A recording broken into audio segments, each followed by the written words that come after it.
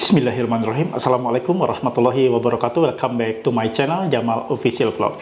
Kali ini saya akan membahas Aku Laku berikan pemutihan khusus untuk nasabahnya di Agustus 2022 Ini pasti yang kalian tunggu-tunggu ya. Simak videonya. Jangan pernah takut oleh ancaman dan teror dari DC pinjaman online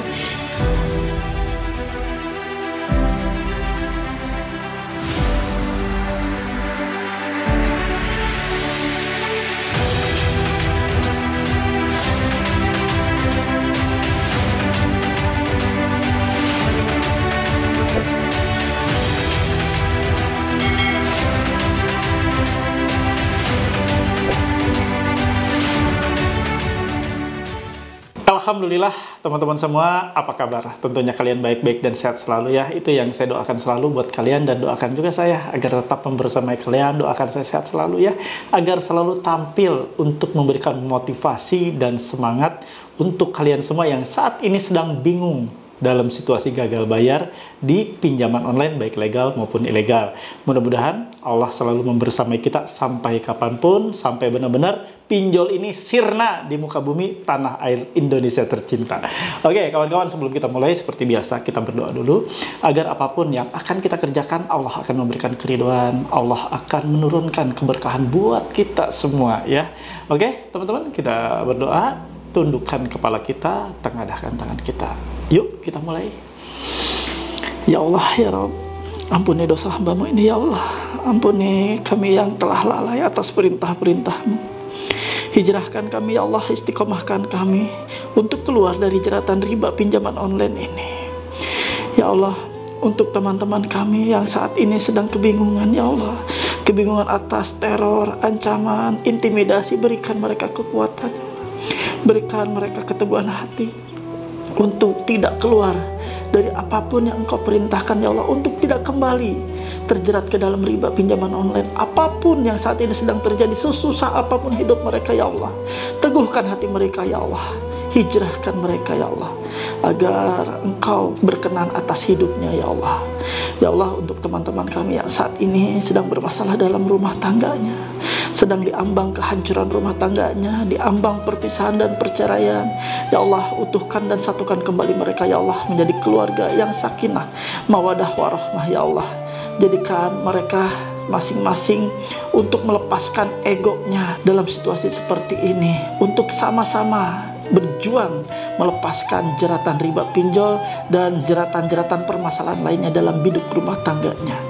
Ya Allah, untuk teman-teman yang saat ini sedang sakit, terbaring sakit, Ya Allah, sembuhkan sakitnya, angkat sakit penyakitnya, Ya Allah, karena hanya Engkau lah yang maha memberikan kesembuhan, berikan mereka kesembuhan dan pulihkan mereka agar mereka dapat kembali beraktivitas untuk memenuhi kebutuhan hidup dan keluarganya, Ya Allah untuk teman-teman yang saat ini sedang kesulitan mencari pekerjaan di PHK dari pekerjaannya ya Allah pertemukan mereka dengan pekerjaan yang terbaik yang datang darimu ya Allah. Berikan mereka pekerjaan yang berkah berikan mereka pekerjaan halal ya Allah jauhkan dari rezeki-rezeki yang haram ya Allah agar mereka istiqomah dan berada terus dalam jalanmu ya Allah perbaiki seluruh kehidupan kami, ekonomi kami, berkahi seluruh ikhtiar, usaha, pekerjaan apa pun yang kami lakukan ya Allah. Berikan semuanya kemudahan, berikan semuanya kelancaran, dan berikan semuanya keberhasilan. Amin ya rabbal alamin. Alhamdulillah kawan-kawan, usai sudah kita berdoa, mudah-mudahan Allah memberkahi jalan kita, apa pun yang kita kerjakan, Allah akan memberikan keriduan. Amin ya rabbal alamin.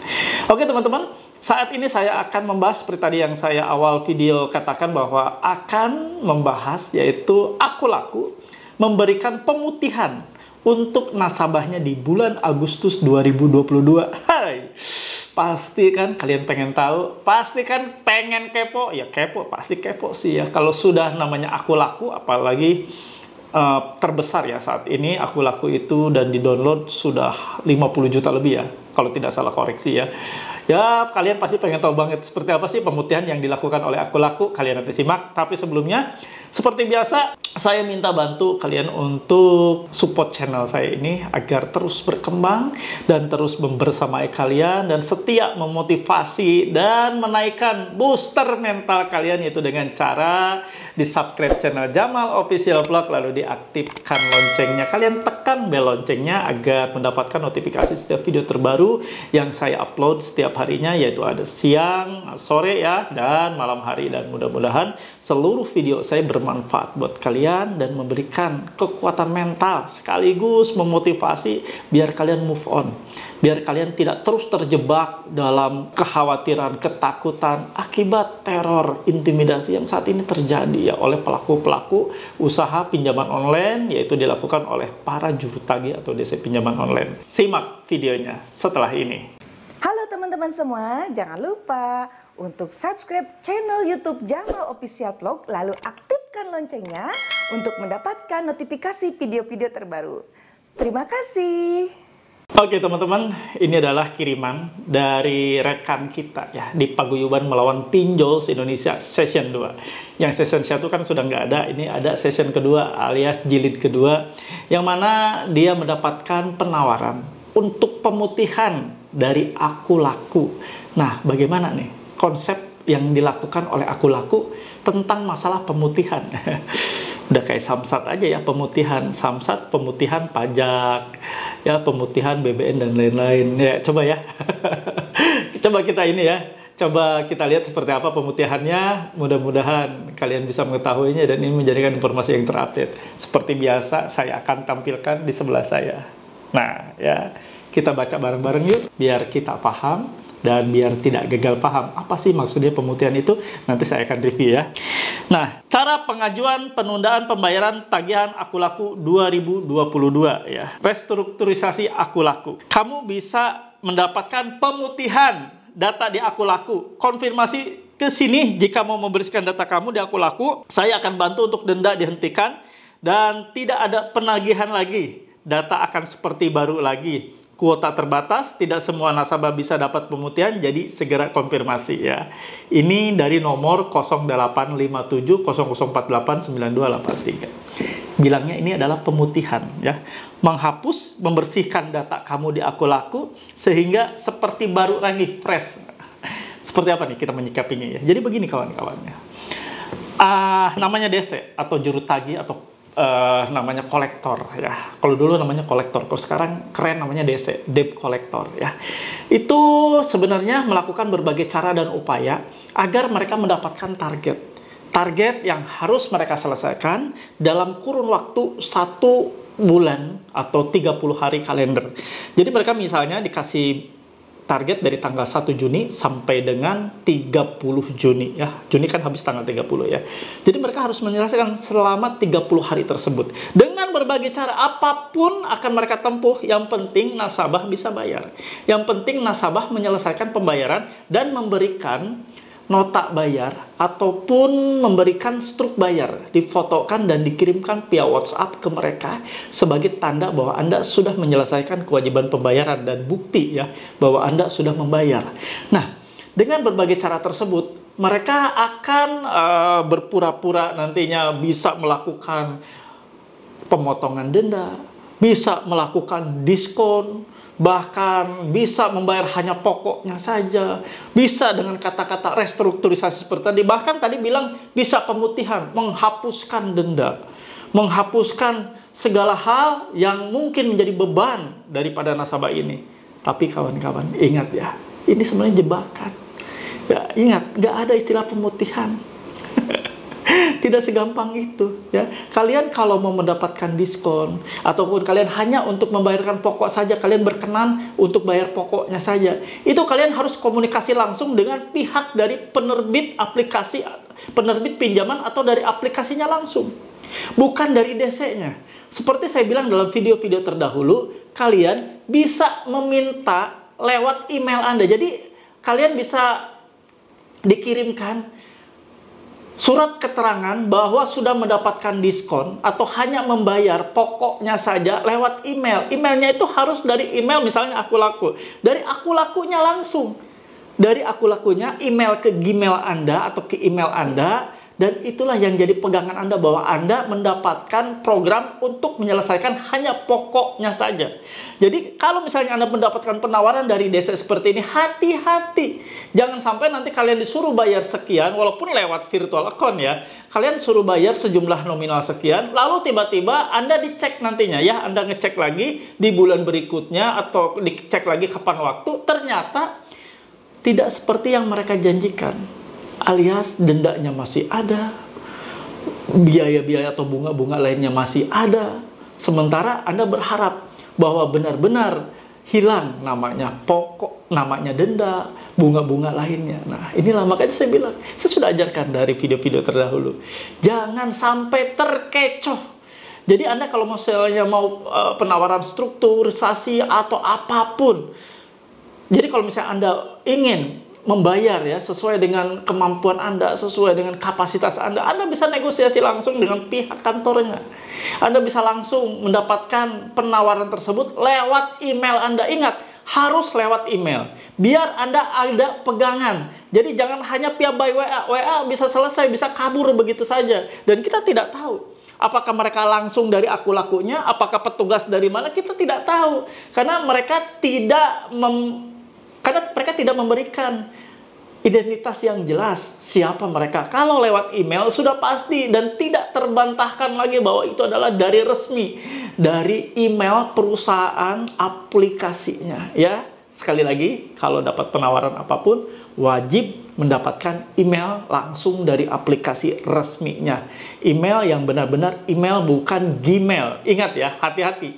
Jangan sampai yang alamat belakangnya, alamat emailnya itu Gmail hati-hati. Ya nggak mungkin perusahaan resmi apalagi perusahaan legal yang berizin dan terdaftar di OJK korespondensi dengan nasabah melakukan melakukan korespondensi dengan nasabah dengan akun emailnya gratisan atau Gmail. Nggak mungkin ya. Oke teman-teman semua ini sebagai pegangan anda dan saya bilang hati-hati yang seperti tadi ya, hati-hati itu hanya jebakan saja yang seperti tadi nih, yang ini nih ya. Saya ulang kembali. Nah, kalau Anda dapat seperti ini, hati-hati, jangan terkecoh. Ini hanyalah untuk mereka para desa atau juru tagi agar bisa memenuhi target mereka. Tidak ada yang lain kok. Agar mereka mencapai target akumulasi untuk nanti di akhir bulan dihitung. Jadi, kalau mereka mendapatkan target 500 nasabah setiap bulan, dengan total 500 juta yang harus ditagih. Jadi nasabah ini bagaimana caranya akan ditawarkan dengan iming-iming apa pun. Yang penting nasabah bayar dan nanti akan menjadikan target mereka di akhir bulan agar bisa masuk. Itu saja. Jangan pernah Anda dijadikan target mereka sementara Anda sendiri dicurangi. Sementara Anda sendiri dibohongi. Ya, paham ya sampai sini? Jadi jangan pernah tergiur dan terkecoh dengan hal-hal seperti itu. Oke teman-teman semua, itu saja yang mau saya sampaikan. Ingat ya, sekali lagi saya garis bawahi bahwa apabila Anda ingin mendapatkan sesuatu, misalnya Anda ingin membayar pokoknya saja atau menghilangkan denda atau apa pun, Anda wajib mendapatkan penawaran atau surat keterangan dari email aplikasinya langsung atau dari perusahaan melalui email akun resmi dari perusahaan ke email pribadi Anda. Ingat, jangan pernah Anda mau menerima email yang belakangnya Gmail. Harus belakangnya misalnya aku laku ya akulaku.com, akulaku.co.id atau apa pun.